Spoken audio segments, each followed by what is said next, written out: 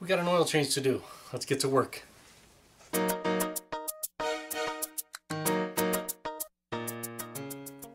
This is what we're working on today. A 2012 Honda Accord. This one has a 2.4 liter four cylinder engine. First thing we want to do is warm up our engine. If we look at our temperature gauge there, on a warm engine on a Honda, that's typically where they'll be right there, just a little bit below halfway. Um, you'll also know when it's fully warmed up if those cooling fans have come on at least twice. And we want to make sure that our parking brake is applied. Because we're going to raise the front of the vehicle up, I'm going to chalk both rear wheels. To lift the front of the vehicle, I'll show you where the designated lift point is, where we're going to put the jack, and it's going to be right here, right where this hole is, right where my finger is. We're going to put the jack right there. The lift point for our jack stands is going to be right here. There's going to be one of these on each side. This bracket right here is reinforced, and that's a lift point, and that's where we're going to put our jack stands. I'm going to put one here, and I'll put one on the other side. I never get under a vehicle with only a jack. I always use jack stands. In order to do this job, we're going to need some tools. We're going to need an oil filter. It helps to have an oil filter wrench. We're going to need a washer for our drain plug, and we're going to need some oil. In this case, this vehicle takes 0W20 oil. We're also going to need a drain pan. This is the one I use. I do have mine modified with a splash pad to minimize all the splatter that goes everywhere when the oil hits it. Okay, I'm just going to lift the front of the vehicle up and put my jack stands in place and then lower it back down onto the jack stands.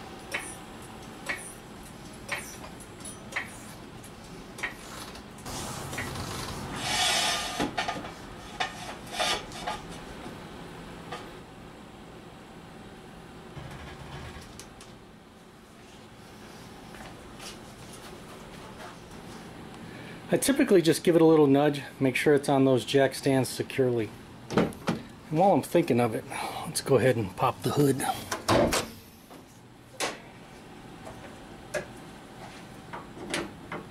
I like to crack these loose before I get started, but sometimes they're on there pretty tight like this one. I usually just take some long nose pliers like this, just kind of crack it loose now, when we need to get to it, we can. Alright, if we come under the vehicle, there's our lift point. That's where I put my jack to lift the front of the vehicle up. If we keep going back, we have this plastic cover here with this little kind of a U shape. If we just push that up a little bit, we can see where our drain bolt is for the oil. So we're going to have to remove that. We're going to need either a 17 millimeter wrench or I'm going to use a socket, a 17 millimeter socket and a ratchet. Okay, we'll put our drain pan in position. There's our bolt right there. We'll just go ahead and crack it loose. That's all we need to do as long as they didn't put it on too tight. I'm the last one who did the oil change on there, so I know it's not too tight.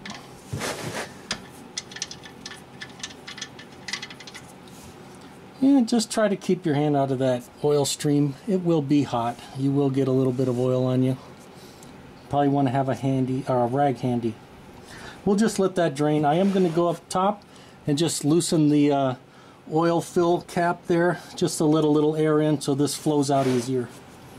I just cracked the cap like that to allow some air to get in there so that oil comes out a little easier. While that finishes dripping, I'm going to pop the oil filter loose. I'm just going to use this Honda oil filter wrench with an extension on a ratchet. We'll just put it into place we'll just kind of crack it free and I'll loosen it up and it's going to start dripping and we'll let that drip for a little bit. Try to get most of the oil out before I grab it because that oil is kind of warm. These things always get slippery. Try not to drop it as I'm going to try right now not to drop it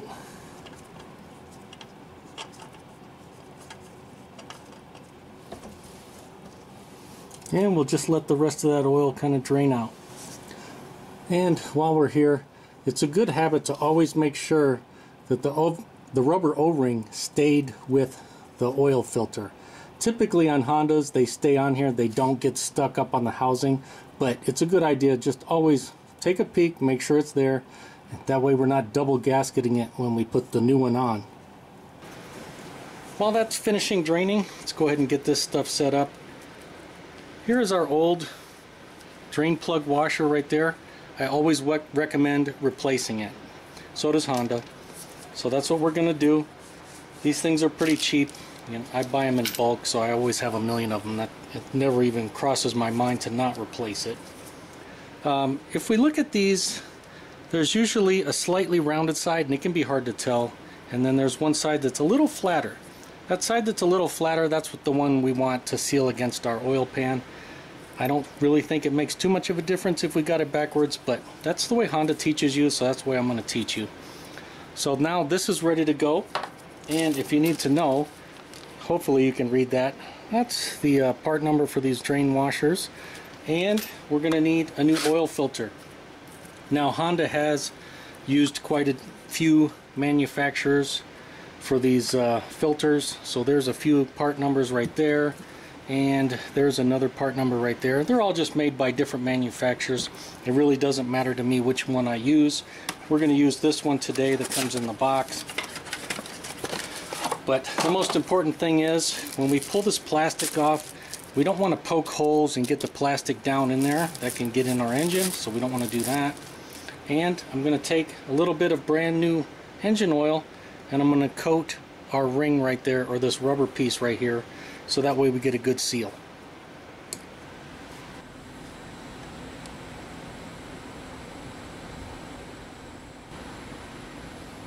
Okay, we'll go reinstall these on the vehicle. The torque specs for this, 29 foot-pounds.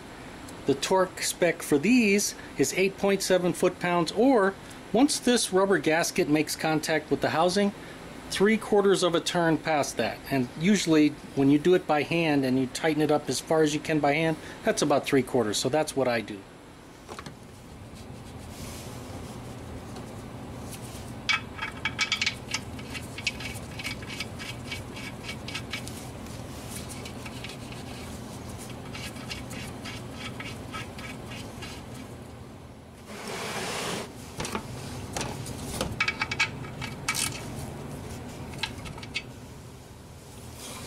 We'll go ahead and do the final torque, 29 foot-pounds, if you could read that at all.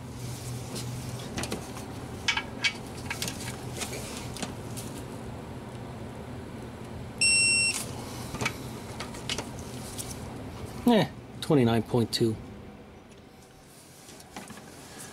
We'll go ahead and clean up any residual oil on the housing here, and then we'll put the new oil filter on. And right there, it's just starting to make contact. And we're supposed to do about three quarters of a turn, but I just get it as tight as I can by hand, and that's usually good enough.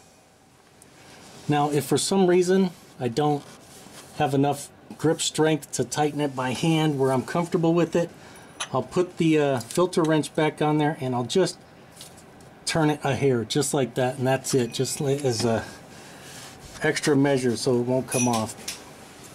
And we'll go ahead and clean up any mess we made. Now that we're satisfied everything's tightened properly, we verify all our tools are out of the way, we can go ahead and lower this vehicle back down. There's a shot of the jack placement.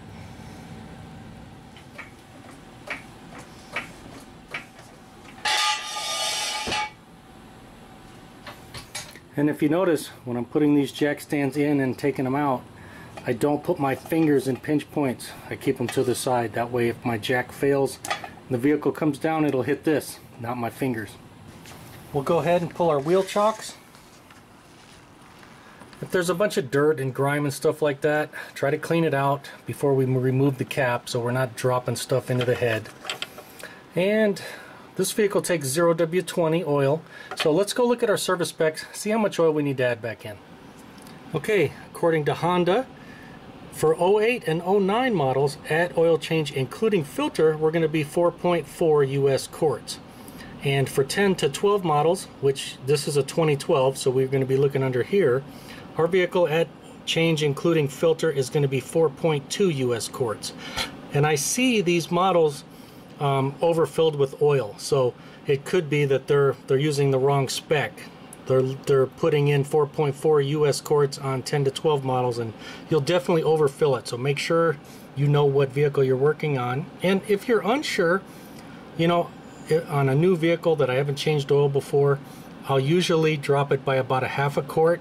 I'll fill it up, I'll run the engine for about three minutes and then turn it off and let it sit for a few minutes and then I'll check the oil level and if I need to add some in it's much easier to add it in than it is to remove the oil so if you're not sure you may want to use that technique but I know that this vehicle is going to take uh, 4.2 so that's what we're going to put in this is the oil I'm going to put back in the vehicle I already have it marked at 4.2 US quarts or 4 liters to put the oil in there, we need a funnel. You can use any funnel that'll fit. I'm going to use this uh, funnel kit right here from Lisle, part number 19612.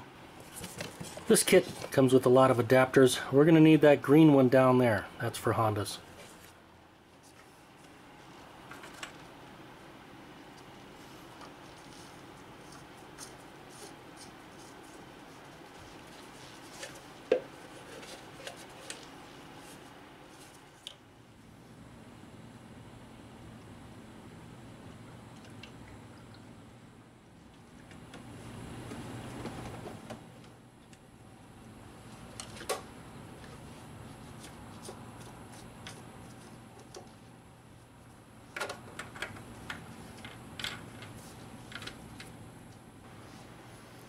When you're working on cars, it's easy to get sidetracked and forget, you know, to do steps. Maybe you didn't put oil in and you thought you did. So my habit is before I start the vehicle, I always pull the dipstick and just make sure that I see oil on it. And then I know that there's oil in this engine. I don't want to start it without oil. And of course, we have oil, so we're good. Okay, after an oil change, Honda recommends a procedure and I happen to follow it. We're going to start the vehicle and we're going to run it for three minutes. And when we start that vehicle, we want to make sure that that oil light on the dash goes out. As long as it goes out, we're going to run the vehicle for three minutes and then we're going to turn it off. And then we're going to let the vehicle sit for five minutes, let that oil go all the way back down to the oil pan. And then we're going to do one final check, make sure that our oil level is good. During that time, that's a good time we can do our maintenance items. We can check all the fluids look at anything else make sure our vehicle's good and we can even even uh, check the tire pressure too.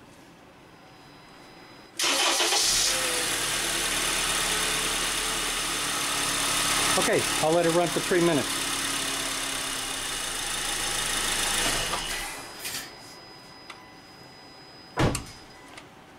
Okay we'll let it sit for five minutes and while it's resting we'll go ahead and check the fluids that brake fluid's okay, power steering fluid's okay, but our coolant level a little low. I'm going to go ahead and add some coolant.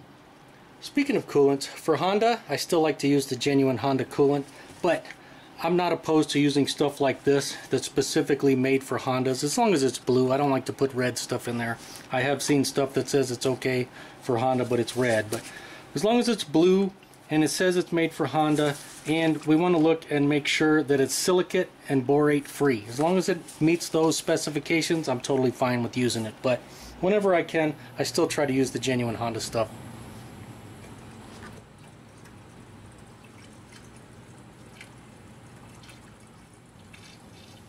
Don't forget to check your wiper fluid too. Just remember, the wiper fluid is blue, so is the Honda coolant. Don't get them mixed up, that wouldn't be good. Okay, it's been five minutes. Let's go ahead and check the oil level. Of course, we want to pull it out, wipe off the dipstick. Now, I should mention, we have, on this one, we have two dots. Sometimes you'll see a grid mark or hash mark or anything like that. You should see a lower mark and an upper mark.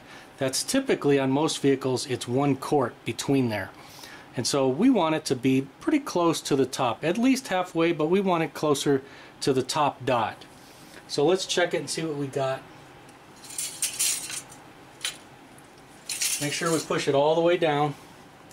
And hopefully you can see our oil level is right at that top dot. So we're perfect on this vehicle. Um, if yours was a little low, now's the time. You can add a little bit till you get to that top dot. Like I said, as long as you're halfway, you're good. But I prefer it to be all the way up to that top dot. So in this case, this vehicle is good to go. The oil on this vehicle is changed every 5,000 miles, so we don't wait for the maintenance minder to come on. But we'll go ahead and reset it. Now, on this vehicle, from the driver's seat, we can only reset everything. So the entire maintenance minder system, we reset it to 100%, including the oil. If we only wanted to reset the oil, some vehicles we can do that. We just have to scroll through the settings and we can just reset whatever item we did. But on this vehicle from the driver's seat, we can only do the whole thing. If I wanted to just reset the oil, then I would have to go and use a Honda scan tool. But in order to reset it, we just turn the key on like we did, engine off. We'll hold it for 10 seconds until it starts flashing. Roughly 10 seconds, I believe. Alright, now it's flashing and it tells us we need to do B123. We're not worried about that. We're just going to reset the whole thing. And then we'll hold it again for at least 5 seconds until it clears and goes to 100%. And there we go. We're good to go. Now, of course, if you're following Honda's maintenance minder system, you're going to want to have all those services completed before you reset them all. I'll go ahead and puncture a hole in the top of this so that way we can dispose of it safely. I just use a center punch like this, pop a hole through it, and I make sure to pop a hole through that uh, anti-drain back little membrane that's in there. That way the oil will come out. And then we have to let that sit for at least 12 hours. After 12 hours, in most locations, we can throw that in the landfill. And of course, I always recommend dispose of used oil and used oil filters properly.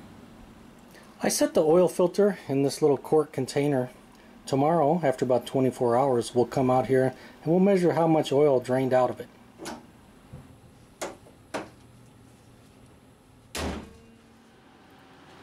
Ah, AC. Well, that's it for this one. And as always, if the video helped you out or you liked it, make sure to give it a thumbs up. Thanks for watching.